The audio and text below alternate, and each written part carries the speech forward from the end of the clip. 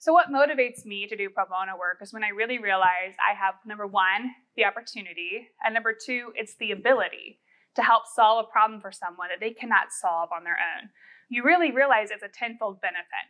Not just for me, I'm getting you know, gratitude and relief from clients. These are oftentimes clients who've never talked with an attorney, don't know how to contact attorney, and would have never contacted an attorney without legal services kind of bridging that gap. But then it's also kind of a tenfold benefit for the community because it's a small amount of my time.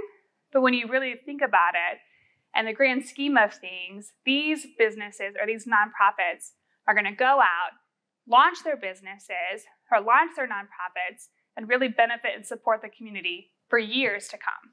Oftentimes, you know, when we think about why legal aid is so important, we think about the cost barrier. And it's very true, right? There are a lot of individuals who desperately need legal aid or legal work, they can't afford it. But for me, with the clients I'm frequently working with, it's that they don't even know what they need. They don't know where to look for um, or who to ask for the help. And legal services is out there providing the outreach. And they're really um, helping, in my case again, businesses or entrepreneurs or nonprofits realize hey, I have this resource available.